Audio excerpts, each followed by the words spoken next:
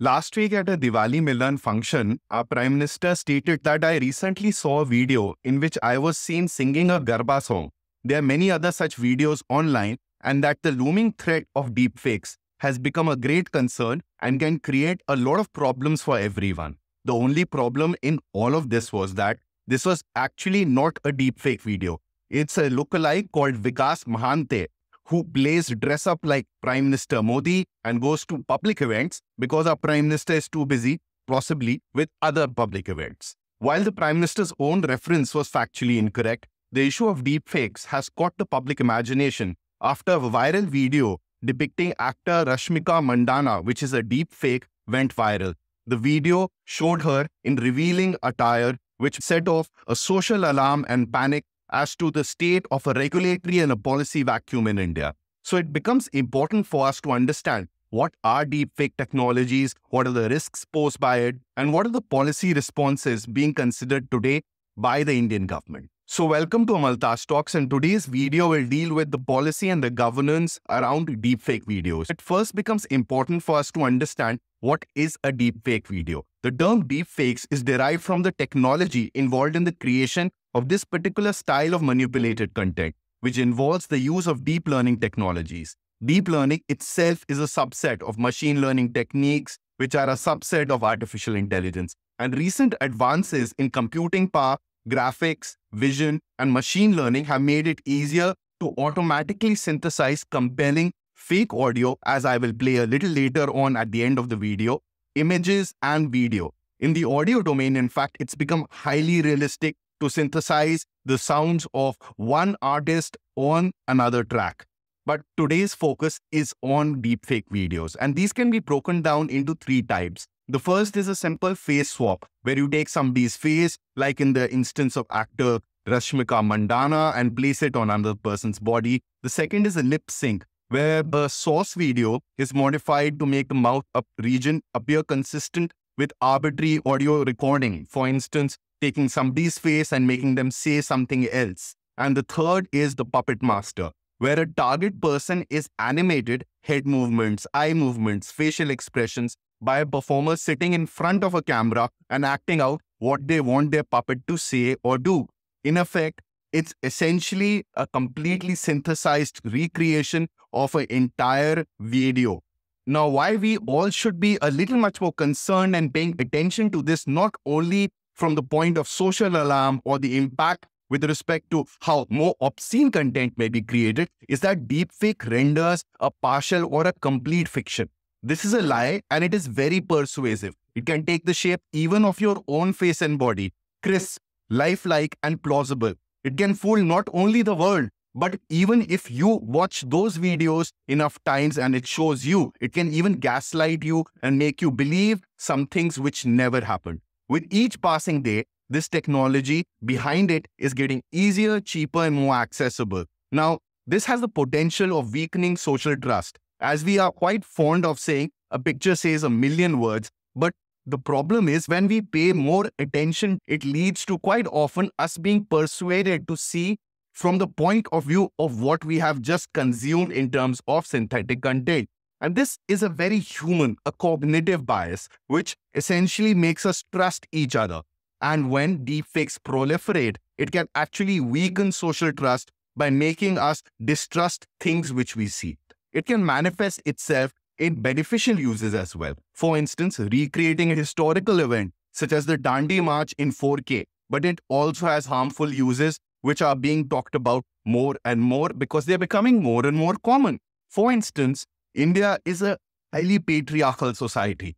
It will be primarily used on female celebrities, influencers, or even by former spouses as a form of retribution, entertainment, objectification of the female body. It can also lead to misinformation around elections and public officials. Now, pause for a second and look at your favorite social media application, be it Instagram, Facebook, or even LinkedIn, and ask yourself how many pictures of you exist there.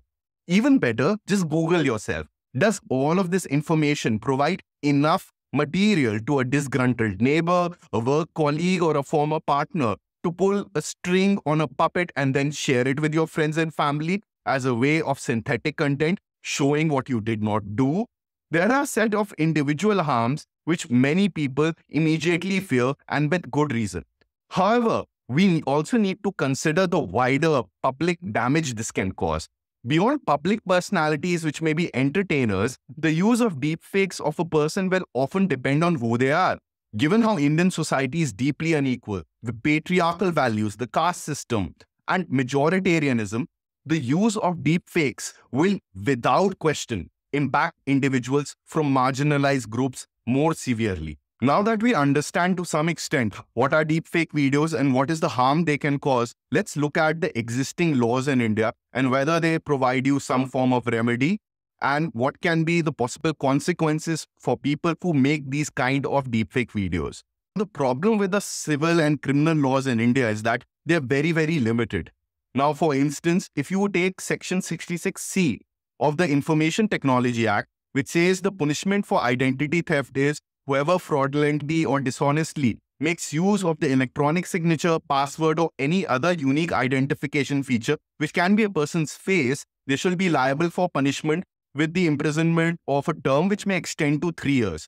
Now you'll ask me and you'll say, Apar, well, there is a law for that. People can be punished under it. Then what's the problem? I'm not going to the problem that the police will refuse to register an FIR or that prosecution won't be affected. Let's just look at this law itself.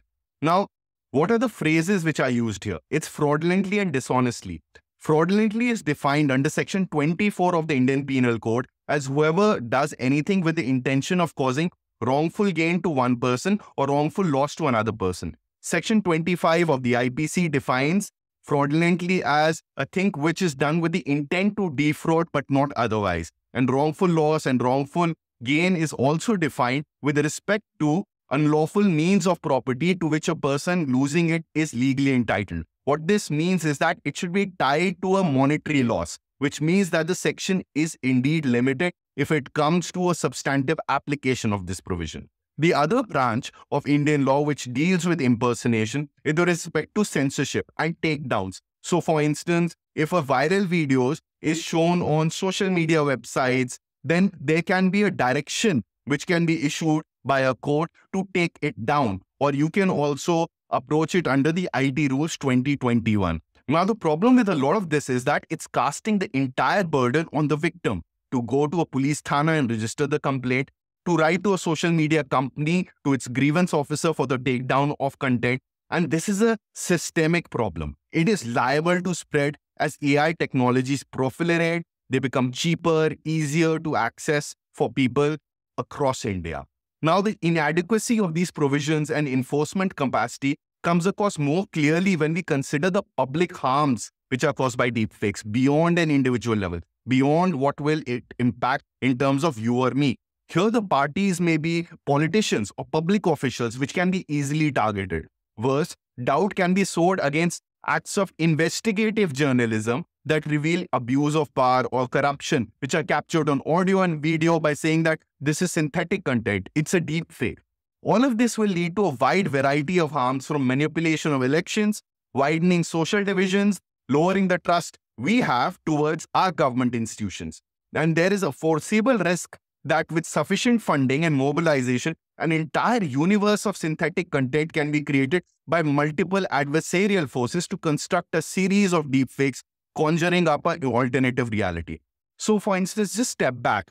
How much time do you spend on social media? Now, imagine that your feed is coming with viral synthetic content from different accounts, which may be audio, video, pictures, or one public official, you're very likely to believe it. Given that many people these days do not even read the newspaper, we get our news primarily through social media feeds. And when we are told that all of these are viral deep fakes, social trust amongst people, among society will collapse. Many of these harms have been documented in two broader policy papers, which I really found to be useful. The first is by the Brookings Institution, and the second is by the Countering Extremism Project, and both of them are linked in the description below. Given the dangers which are posed by deepfake technologies, what is our government doing about it? And I'm disappointed to say it's not doing much.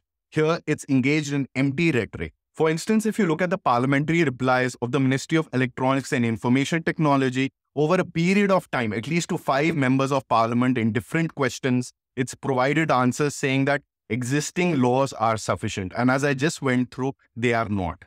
And this was very clear in the ministerial response to the viral video of Rashmika Mandanna, where the minister stated that victims can file criminal complaints and also issued an advisory to social media companies for expedited takedowns. Basically, a response which is saying that let's undertake censorship rather looking at a wider view. It's not like the ministry has not looked at this issue at all. So, for instance, in February 2018, it constituted an AI committee with four different working groups, which came out with four different reports. And here, Committee D looked at the ethical and the social impacts by AI as well as synthetic content such as deepfakes. And it said that laws and regulations can be an important backstop in ensuring fundamental lines are not lost. But these lines are being crossed because laws and regulations are not being made. A much more recent document, in fact, is the India AI 2023, which is again a ministry initiative, which was released in October 2023. Now, this strategy document is essentially towards the promotion of AI based technologies in government as well as in the corporate sector. Now, this is all well and good, but it can't be without protection, safeguards to ordinary people like you and me or to the social impacts it will cause.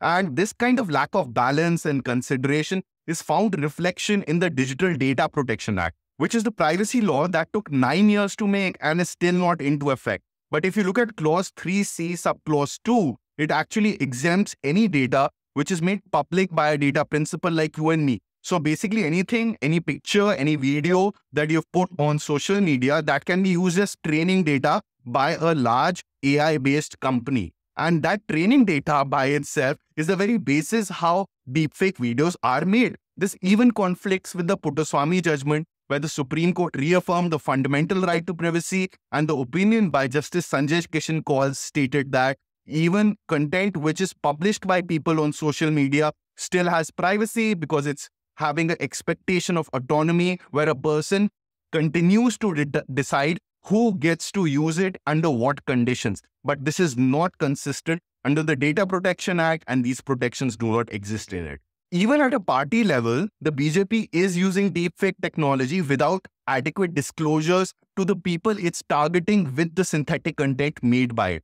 And this becomes very clear from a Vice report, which is dated February 7, 2020, where the BJP partnered with a communications firm called the Ideaz Factory to create deepfakes that let it target voters across 20 different languages used in India. This deepfake made for the BJP had Manoj Tiwari, who's a Delhi-based politician, and uh, reached approximately 15 million people in 5,800 WhatsApp groups, and this was as per a proud statement by the BJP. With this, we come to the third and the final part of this video, which is that what are other countries doing about it? And this also becomes important for us to consider what are the laws which can be made, what are the policies which can be made.